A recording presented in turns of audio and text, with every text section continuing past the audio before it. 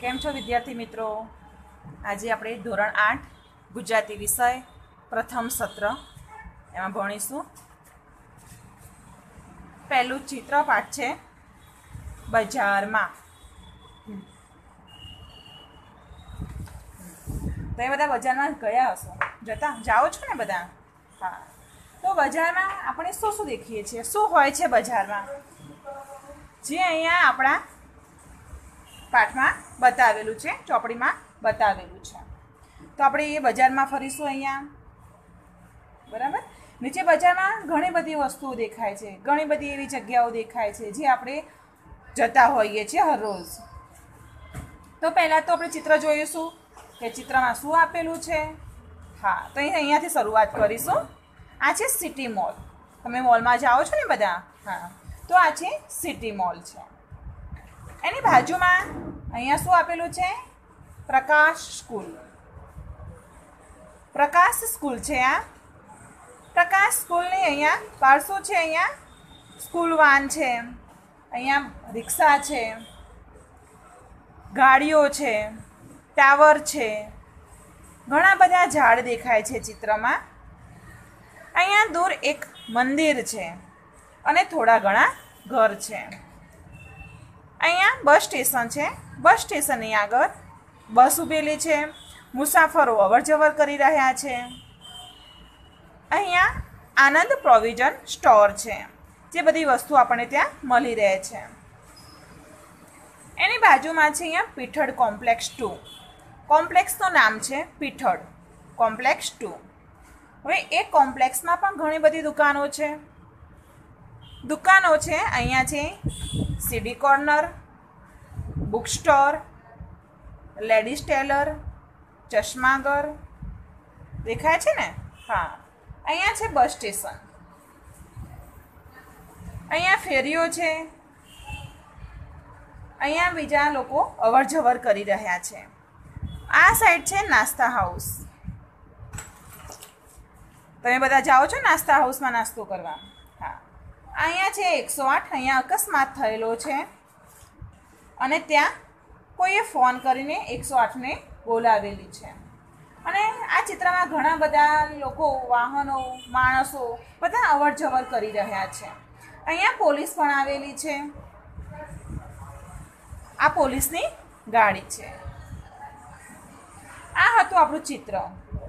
હવે ચિત્ર પ્રમાણે આપણે ધ્યાન ચિત્રમાં ધ્યાન લેવાનું છે અને જે અભ્યાસ અને સ્વાધ્યાયમાં પ્રશ્નોના જવાબ હશે તમારે સોલ્વ કરવાના રહેશે. પણ અહીંયા એમ્બ્યુલન્સ છે. તો એમ્બ્યુલન્સનો ઉપયોગ શું ક્યાં થાય છે? શેના માટે થાય છે? તો અહીંયા એમ્બ્યુલન્સનો ઉપયોગ દર્દીને હોસ્પિટલ પહોંચાડવા માટે થાય છે. તમે જોયું છે ને એમ્બ્યુલન્સ પોલીસની જીપ છે. તો એનો ઉપયોગ ક્યાં થાય છે? કે કોઈ ઘટના સ્થળની વિગત મેળવવા આગળની કાર્યવાહી કરવા માટે થાય છે. અહીં અકસ્માત થયો છે. પોલીસ આવી છે અહીંયા. હવે અહીંયા આગળની તે કાર્યવાહી કરશે. આ ટેન્કર છે. તો ટેન્કરનો ઉપયોગ એક સ્થળેથી બીજા સ્થળે પાણી પહોંચાડવા માટે થાય છે. બસ મુસાફરો, અહીંયા મુસાફરો દેખાય છે. એ એક ગામથી બીજે ગામ લઈ જવા માટે બસનો ઉપયોગ થાય છે. અહીંયા રિક્ષા છે. તો રિક્ષામાં મુસાફરોને જ્યાં જવું હોય ત્યાં પહોંચાડવામાં આવે છે. હવે અહીંયા કાર છે. દેખાય છે ને? હા. એ કાર કે એક જગ્યાએથી બીજી જગ્યાએ સમયસર પહોંચવા માટે તે મદદરૂપ થાય છે. અને આપણા શહેરમાં ઘણી બધી સુવિધાઓ મળે છે આપણને. નાગરિક સુવિધાઓ આપણને મળી રહી છે. જેવી કે છે એમ્બ્યુલન્સ છે, હોસ્પિટલ છે, શાળા છે, બસ સ્ટેશન છે અને જીવન જરૂરિયાતની વસ્તુઓ મેળવવા માટે વિવિધ પ્રકારની દુકાનો અને કોમ્પ્લેક્સ હોય છે. પોલીસ છે, નાસ્તા હાઉસ, એ બધી આપણને નાગરિકોને સુવિધા મળી રહે છે. અહીંયા છે અભ્યાસ અને સ્વાધ્યાય. તમારે બુકમાં અભ્યાસ અલગ હશે અને સ્વાધ્યાય પણ અલગ હશે. અહીંયા વિકલ્પો છે. તમારે સાચો જવાબ શોધીને લખવાનો છે સામે. કે ચિત્રમાં દર્શાવેલી બાબતોમાંથી ખરેખર કોને સૌથી વધુ મહત્ત્વ આપવું જોઈએ? તો અહીંયા કઈ બાબતો દર્શાવેલી છે? જુઓ. અકસ્માતને ખરીદીને, ફરવાને, ખાવા પીવાને. તો સૌથી વધારે મહત્ત્વ કોને આપવું જોઈએ? તો અકસ્માતને. બીજો પ્રશ્ન છે, તાત્કાલિક સારવાર માટે એકસો આઠ નંબરની વાન બોલાવવા માટે કયા નંબર પર ફોન કરવો જોઈએ? તો એને પ્રશ્નની અંદર જ જવાબ આપેલો છે, એકસો આઠ. હવે એ પ્રશ્ન એવો છે, એક એક વાક્યમાં જવાબ લખવાનો કે ચિત્રમાં તમને કયા કયા વાહનો દેખાય છે? પછી આપણે ચિત્રમાં જોયા છે કે ચિત્રમાં કયા કયા વાહનો હતા? તો પહેલું તો એકસો આઠ એમ્બ્યુલન્સ હતી.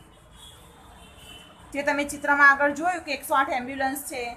Tanker, rickshaw, car motor bike પોલીસની જીપ, બસ વગેરે. ચિત્રમાં સાને સાની દુકાનો દેખાય છે. તે પણ આપણે આગળ દેખી ગયા.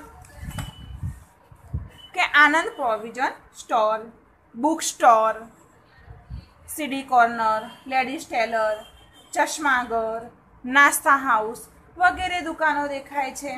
પછી આગળ નવો પ્રશ્ન છે કે ચિત્રમાં કેટલા વૃક્ષો દેખાય છે? તો ચિત્રમાં ટોટલ કેટલા વૃક્ષો છે? એક, બે, ત્રણ, ચાર, પાંચ અને છ. તો ટોટલ કુલ મળીને છ વૃક્ષો દેખાય છે. હવે સ્વાધ્યાય છે, સ્વાધ્યાય તમારે અભ્યાસ અને સ્વાધ્યાય. તમારે તમારી નોટબુકમાં લખવાનું છે. ચલો મિત્રો, આવજો.